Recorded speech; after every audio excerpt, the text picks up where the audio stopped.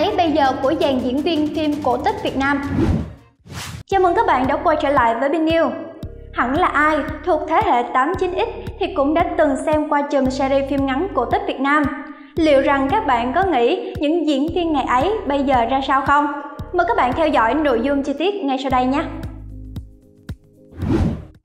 Năm 1993, hãng phim Phương Nam mời nhà văn Nguyễn Đông Thức phối hợp với đạo diễn Nguyễn Minh Trung thực hiện chùm series phim ngắn cổ tích Việt Nam. Series dài 56 tập, được thực hiện dựa trên những cổ tích quen thuộc như Cậu bé thông minh, Sự tích giả tràng, Thạch sanh Lý Thông.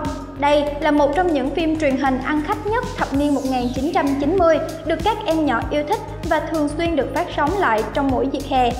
Anh Vũ tham gia hai tập con chim khách nhiệm màu, Chàng ngốc phiêu lưu ký. Đây là một bộ phim đầu tiên trong sự nghiệp diễn viên của anh. Anh gây ấn tượng khi nhập vai chàng ngốc vừa hài hước, vừa đáng yêu và liên tục gặp được may mắn.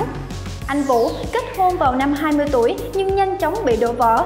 Năm 2000, anh phát hiện mình bị ung thư đại tràng. Tuy đã chữa khỏi bệnh, diễn viên lại mắc chứng mất ngủ, trầm cảm hay quên do uống thuốc nhiều.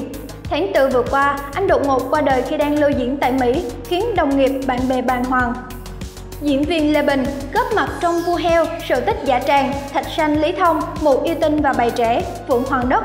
Nét diễn đa dạng giúp ông dễ dàng hóa thân trong các vai hài, bi lẫn phản diện.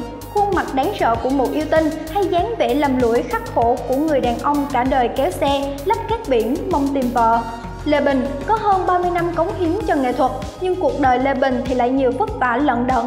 Ông ly hôn với vợ sau 37 năm chung sống, con trai đầu mất vì tai nạn giao thông, con trai thứ hai nghiện ma túy. Ở tuổi 65, Lê Bình bị ung thư phổi và qua đời sau một năm chiến đấu với bệnh tật. Minh Nhí cũng là một trong những diễn viên chính xuyên suốt của các series phim. Anh từng đóng con chim khách nhiệm màu, thằng cụi, vua heo, thạch sanh lý thông, hà rầm hà rạc, sau loạt phim, tên tuổi của anh nổi lên nhanh chóng trong thập niên 1990.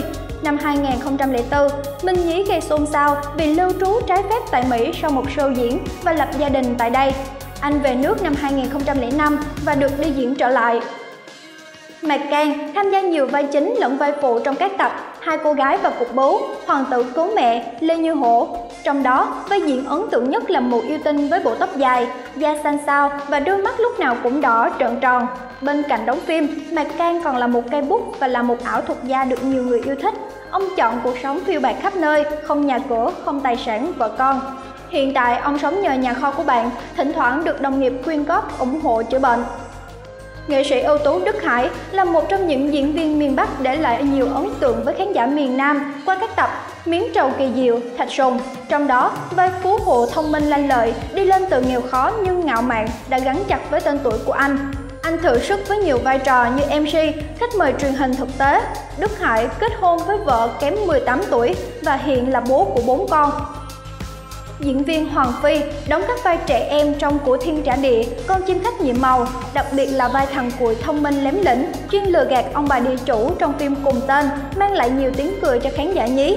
Khi lớn lên, Hoàng Phi tiếp tục theo đuổi con đường nghệ thuật, anh trở thành diễn viên sân khấu thế giới trẻ và làm MC. Trấn Cường tham gia phim khi mới là một cậu bé qua các tập Người hóa dế, Sự tích cây nêu ngày Tết.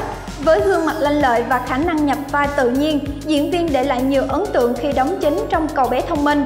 Nổi tiếng từ vai này, anh tiếp tục được mời đóng phim Tiếng vẹt Sành và nhận được vai diễn viên nhí xuất sắc tại Liên hoan phim toàn quốc vào năm 1997. Hiện, anh đang công tác tại đoàn 3 nhà hát cải lương Trần Hữu Trang và tham gia biểu diễn thường xuyên để giữ gìn, phát triển loại hình văn hóa này.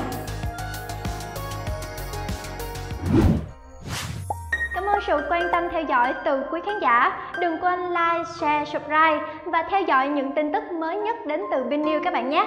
Xin chào và hẹn gặp lại.